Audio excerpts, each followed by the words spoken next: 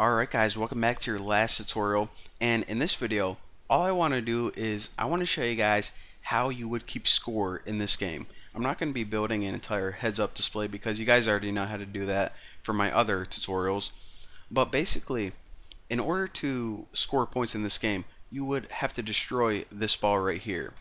Now whenever this ball gets destroyed of course the explosion happens and then what also you want to do is you want to put a little text notification that says like plus 10, plus 100, wherever the explosion happened, just to show the user, okay, um, this is how many points you got for destroying this enemy. So the first thing that we need to do is we need to add another global variable. Now I'll just call this one score. Now of course the initial value of score is 0 by default. And now what you can do is we'll just go ahead and add it with a collision on meatball I guess. So basically um, you're gonna want to add it eventually with the ground but for right now we'll just work with uh, winning whenever you hit it directly with a meatball. So the first thing we want to do is whenever you hit the target with a meatball we want to add um, we'll say like 100 points to the score. So system and this is actually just add to right here. So basically add I don't know, 100 points to the variable score. So that's what that does. And now what's going to happen is whenever we shoot this, it's going to add 10, or excuse me, 100 points to the score. However, the user doesn't have any way of seeing that or ever knowing that. So what we need to do now is actually add some text notification on the screen. So double click on your screen and add a text and we can just go ahead and click anywhere right now. Let me expand this.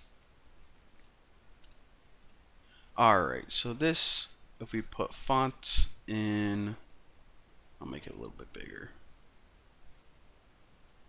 Make it like 18 even bigger than that.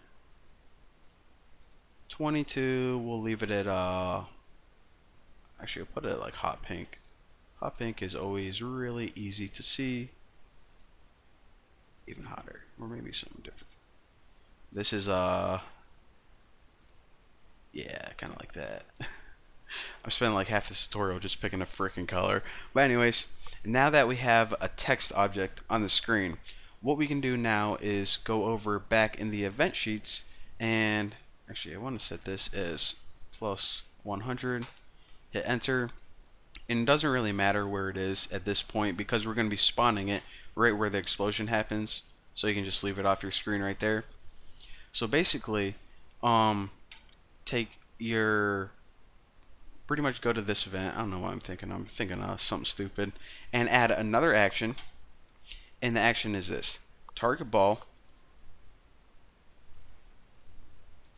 spawn another object just like we did with the explosion and this time we're going to uh, spawn that text object.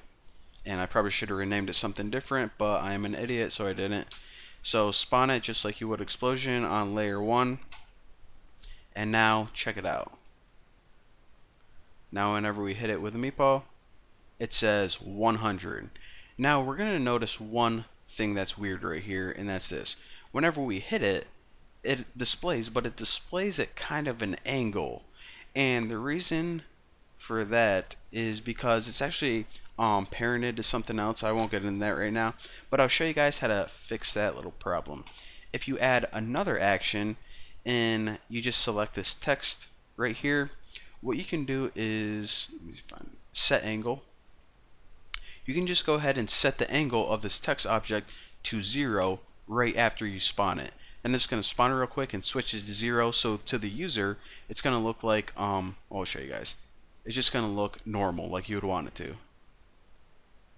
So right there, there's your little notification that says plus 100. You got 100 points. And also, if you're keeping score, um, it would add 100 to that local, or excuse me, the global variable score. So again, I'm not going to be building an entire heads-up display because you guys already know how to do that. Um, you probably want to have a score notification tally in the top left corner, something cool like that. But for now, hopefully you guys understand the basics of how to make a physics particle um, you know, like Angry Birds style game. If you have any questions at all, then please ask me on my forum, buckysroom.org slash forum. Download all the files for free. And, um, well, Hopefully you guys enjoyed this tutorial and I'll see you next time.